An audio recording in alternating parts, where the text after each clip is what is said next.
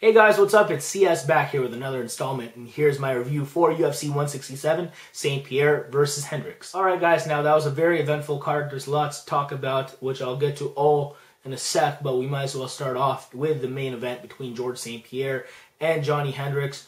Wow, what a fight. Awesome all around. I wasn't exactly bored throughout the 25 minutes like I thought I would be with George St. Pierre just jabbing away and collecting a decision like that because that's what I thought we would see. But Johnny Hendricks, in my opinion, actually went out there, fought George St. Pierre hard for five rounds, and actually got one, two, and four in my scorecards in an exciting fashion as well. He forced George St. Pierre to do a lot of things that George St. Pierre is not accustomed to. Uh, George St. Pierre was looking to just move away from Johnny's power hand and just jab in Johnny's face, uh, land low kicks when he could, or Superman punches George St. Pierre clearly thought he was going to do that, and when he wasn't able to, you know, he had to fight in survival mode, kind of. And I thought Johnny Hendricks was able to get the better of the exchanges in rounds one, two, and four. Now, I'll explain why I thought he got the controversial round one, and that's because George St. Pierre really didn't have any significant offense besides that takedown, if you want to call that significant offense. George St. Pierre also got taken down himself, but it's not like Johnny could do a heck of a whole lot with that. But this is why I gave to Johnny Hendricks. When George St. Pierre was going for that other takedown, Johnny was stuffing that, elbowing George St. Pierre at the same time, hurting George St. Pierre, and that's why George had to let go of it. You know what I'm saying? So, in my opinion, that's effective striking and effective grappling at the same time, which I thought were part of the judging criteria. So, I'm trying to think of how George St. Pierre gets that round. Was it because of aggression? Because I don't think his aggression was thoroughly that more aggressive than what Johnny Hendricks was able to do that in that little exchange. Was it due to octagon control? I really didn't think he was controlling anything in that round. Was it because of effective striking? Well, Johnny Hendricks at that point had more effective strikes and more strikes in general. So I'm not seeing what the judges were seeing in round one. Now, it was Sal D'Amato and Tony Weeks who gave the fight, or should I say that round, to George St. Pierre at that point. Of course, they're the ones who ended up giving it to George St. Pierre after because they, like Glenn Trowbridge, scored the rest of the fight. Round two for Hendricks, round four for Hendricks, and round three and five for St. Pierre. So for Sal D'Amato and Tony Weeks, that equates to 48-47 for St. Pierre on their cards. And for Glenn Trowbridge, because he gave round one to Johnny Hendricks, 48-47, and I thought he got it right. So it's unfortunate that only one of them got right in my eyes. But if you guys can come up with an explanation to how George St. Pierre definitely won round one, then tell me in the comment section below because I don't because I want to know because really I just can't think of a legit explanation. I just think it's Tony Weeks and Sal D'Amato were just sleeping on that round. Glad they got the rest of it right, but still in the end the wrong guy won in my eyes because I thought those guys got it wrong. So I was also looking at Sherdog, MMA Junkie, whoever else was doing play-by-play, even on Twitter, and everyone had it for Johnny Hendricks. I don't know anyone who had it for George St. Pierre. In the end, you know what? It is what it is. Uh, I think that we do a better job of applying the scorecards than these judges. Maybe these judges need to see what we're seeing as far as monitors uh, because they don't get to see that. They just get to see through the cage and whatever they see is what they see. Um, I don't know it's hard to say what they should do as far as the judging system. If you guys think anything needs to be changed, let me know in the comment section below. Again, controversial fight, but I thought round one was ultra obvious when you break down the scoring criteria. I don't think neither guy had aggression points over the other or octagon control, but I thought that St. Pierre wasn't as effective striking wise or grappling wise because of that tough takedown and getting the elbows thrown at him. So, my opinion, the true champion should be Johnny Hendricks. He'll get that title eventually because it looks like St. Pierre doesn't want to have any more of this, and I can't blame him. He has a lot of fight years on him. Who knows if he's going to retire eventually after that weird ass speech. So, who knows what's running through George St. Pierre's mind. Hopefully, we find out soon enough. It's been an honor to watch George St. Pierre fight. The guy is ultra class and he's very good at what he does. Still hasn't dropped a decision in his career, so I've got to tip my hat off to him for that. Although I thought he should have dropped this one. So, shout outs to Johnny Hendricks.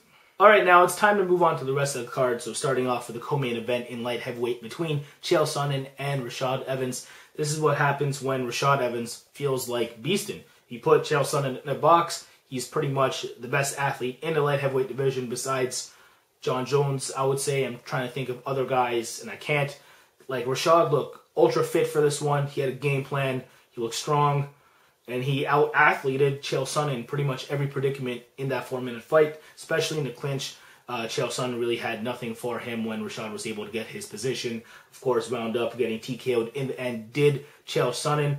Rashad's a beast. Like that mount looked nasty, and yeah, he went Donkey Kong on him. So nice win for Rashad. What's next for him? I'd like to see him face Glover Teixeira, to be honest. Now, I know Teixeira is lined up for Jon Jones, but I'd like to see Jon Jones take on Alexander Gustafsson for the rematch and then have a contender out of Rashad Evans versus Glover Teixeira. I think that would make the most sense for the light heavyweight division. If not, maybe Rashad Evans versus Vitor because that would be fun as hell.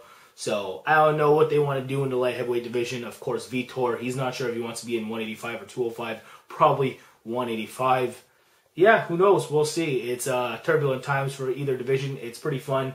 Uh, maybe Rashad moves down himself. Who knows? But he looked pretty darn strong at 205 versus Chael Sonnen, who, in my opinion, is still a very solid light heavyweight himself. Now, I don't know if he's been bouncing back between weight classes and all, but he's still a legitimate 205er, if you ask me, with his track record. Of course, he beats most 205ers, if you ask me and he did beat Shogun Rua, so he's still a very legitimate win at this weight class. And I thought Rashad Evans proved that he was even more legitimate with that TKO victory. Very nicely done for Mr. Evans. Anyway, moving on to that welterweight matchup between Robbie Lawler and Rory MacDonald, which I definitely gave to Robbie Lawler 29-28. Most people did, but the one judge gave it to 29-28 to Rory MacDonald, and I wasn't feeling that. Maybe he was feeling the fact that Rory should have got round three because of the late flurry with 10 15 seconds left in the fight. But I thought that Robbie did enough of punching Rory in that round to get it. So again, 29 28 because it was clear that he had to give Robbie round one. So Robbie doing a good job of neutralizing the reach of Rory MacDonald being able to step in, land hooks, and then uh, he did a good job of stuffing takedowns when he could damn, you know what? His athleticism was on full display here. Definitely looked really explosive against a very game Rory MacDonald. The 170 cuts have been good for him as of late, so I'm glad he's fighting a second win in the welterweight division. And I guess he might be in the spot for a number one contenders match, or maybe he might be the number one contender because this was supposed to be uh, passing of the torch from George St. Pierre to Rory MacDonald. So Robbie Lawler had other plans and spoiled that. I'm just saying this kind of might be far fetched, but Robbie Lawler versus Johnny Hendricks for an interim welterweight championship if Johnny doesn't get the rematch with George. I think that'd be really cool. So that's what I want to see for Robbie Lawler. As for Rory MacDonald, maybe him versus Carlos Condit in a rematch. Put that on a free card, make it headline.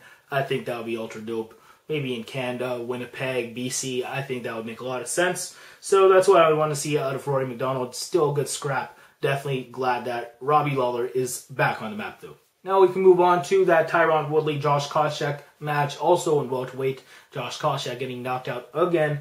Tyron Woodley looking crazy flashy with those fists. So what happens with Tyron Woodley? Of course, in the welterweight division, there's a lot of top 10, top 15 matchups you can make. Maybe they want to pair him versus Carlos Condit. Maybe Tyron Woodley versus uh, Jake Ellenberger. You can make that a thing. Who knows? We'll see. But Josh Koscheck, you know, him getting knocked out again. I believe that's his third time in the UFC now, maybe fourth.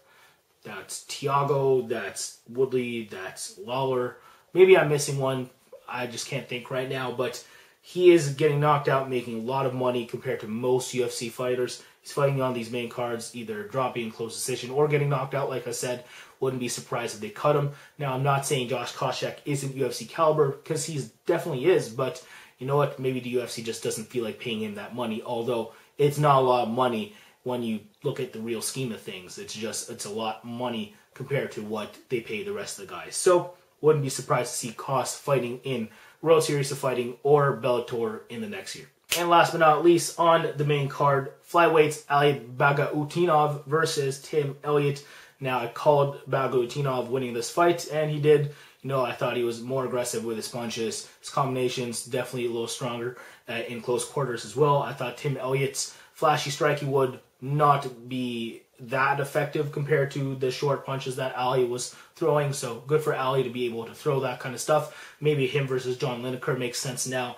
Tim Elliott, he is still a top 10 flyweight because there's not a heck of a whole lot of flyweights in that division. So maybe you can make him versus Jose Maria Tome or someone like that. Who knows? And now we can run through the preliminary card. Donald Cerrone versus Evan Dunham. Now, this is what Donald Cerrone is supposed to do to a guy like Evan Dunham. I did pick Dunham because I thought that Dunham was going to fight a Donald Cerrone who wouldn't be hungry, maybe gas a little bit, but Donald Cerrone definitely prepped for this fight, had a game plan, just marching forward, landing the stronger combinations, and of course, when it wound up on the ground, able to put the complacent Dunham in the triangle. Very nice win for Donald Cerrone in the lightweight division. Moving on, middleweight fight between Thales Leites and Ed Herman. Anyone can take down Ed Herman, clearly. So that's why Thales Leites won 30 27. Rick Story versus Brian Ebersole. Hard to pick Brian Ebersole because he was coming off what like a year and a half long layoff. Got to go with the Rick the bedtime story in this case, and he won 30-27. Erik Perez versus Edwin Figueroa. Perez better at everything, 30-27. Jason High versus Anthony Lapsley. The better grappler won. Jason High, 29-28. Sergio Pettis versus Will Campuzano. Sergio Pettis better at everything, won 30-27 and Gian Villante versus Cody Donovan.